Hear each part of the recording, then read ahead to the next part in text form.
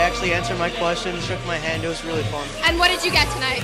Uh, I got a football with all three autographs, and my dad got a sheet with all three autographs as well. It was really cool. Meeting them in person was gave us a great chance to really bond in a way. I wish them luck for the season. I think they did a magnificent job. Everybody who was in administration had this set up perfectly. Those three are gentlemen. I will never forget how gentlemanly like those three are. And,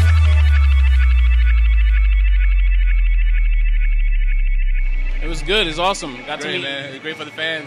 It's awesome that they'll do something like that. So how did you like tonight's event? It was good, you know. Fans came out, supported us.